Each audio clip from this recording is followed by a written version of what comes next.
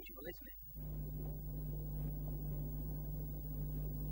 I have another one, similar in feeling, but this one has been sold. I want this. I'm sorry. I told you.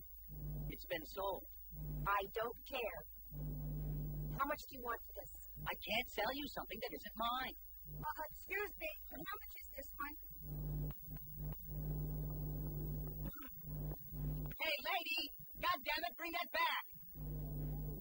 Second! It isn't mine! Damn it, lady, bring it back here! It isn't mine!